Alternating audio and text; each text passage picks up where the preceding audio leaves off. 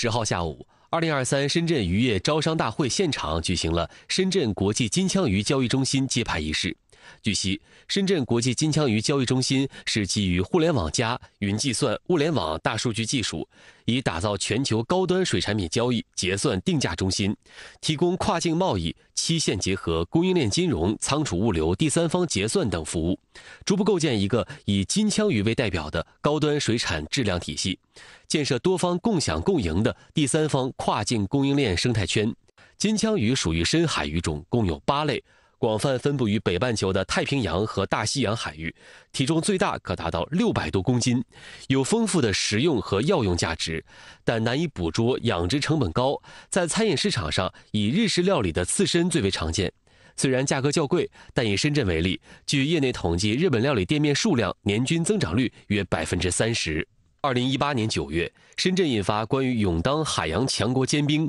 加快建设全球海洋中心城市的决定及实施方案，提出积极争取建设金枪鱼交易中心，打造国家远洋渔业基地。二零二一年十二月，农业农村部正式批复同意建设深圳国家远洋渔业基地。深圳市现代渔业发展规划（二零二二至二零二五年）规划明确，到二零二五年，深圳渔业经济总产值将达到九十八亿元，远洋捕捞量六万吨，现代渔业发展质量效益明显提升，形成具有区域竞争力的现代化产业集群，共设六个产业集聚区。其中，以大铲湾三期填海区为空间载体的国际金枪鱼交易中心，是深圳市现代渔业发展规划国家级示范工程，将促进以金枪鱼为代表的高端水产品交易、消费、物流和集散，引导国家高端优质水产品向粤港澳大湾区转移，逐步扩大消费市场，形成区域价格指数，打造全球中高端水产品交易体验区。接下来连线中国深圳综合开发研究院前海分院副院长、可持续发展与海洋经济研究所所长胡振宇。胡院长您好，深圳国际金枪鱼交易中心正式揭牌，有着怎样的重要作用呢？整个起到一个汇聚资源的作用，包括呃金枪鱼在内的一个呃终端的水产品的一个资源的汇聚，就吸引大量的这种呃高端的蛋白蛋白质资源回运。第二个呢，活跃市场。把一些买手卖手能够集中起来，在这儿竞价机制形成一定的价格。第三个呢，提高这种产业链的质量，通过这种市场的建设呢，把这日料店、还有销售店、还有整个的市场供给这些产品体系呢，纳入到这个认证体系里边。因为整个金枪鱼交易市场啊，还有海产品交易市场呢，它的安全是第一位的，所以一定要把它纳纳入到这个认证体系里边，提高质量。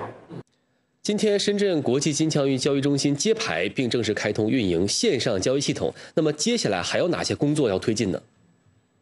从全球来看，整个交易体系都是终端启动的，呃，需求创造供给，这是一个规律。而且我们是孕育了十多年了，就十几年前，零六年我们就开始建立远洋渔业基地建设，就给金枪鱼呃船队补贴，来提高这种。哦，回回运量目的就是提高金枪鱼供给的稳定程度，但是从一另一个方面来说呢，还有一个市场培育的问题，整个市场还处于培育期。因为从全全国来看呢，也就是破万吨，但是你从这个日本日本来看，它销售量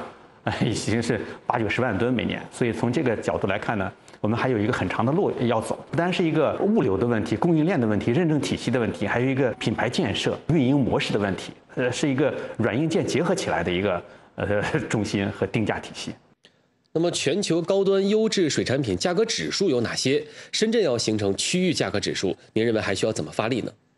因为纳斯达克三文鱼价格指数呢，它是挪威已经推出来很长时间之后才形成的这样一个指数，现在是全球呃三文鱼的一个价格的依据。而且从金枪鱼来说呢，也有全球的定价体系。呃，静冈呃清水市，它是金枪鱼上岸的地方，参考的是清水价格。再有就是罐头类的，呃，是参考的是曼谷价。我们深圳呢，也就是几千吨这么一个量，要形成这个价格指数，还有一段很长的路要走。而且从这种经营方面来说，运营商来说呢，还有很多运营人才、运营团队需要导入。量上边你上不去，形成价格指数的这个难度就会非常大。所以我们一切以实践为标准，你能不能把交易量做上来为标准？上来了之后，你的价格指数自然就形成了。对于交易中心未来的建设发展，你有什么具体的建议吗？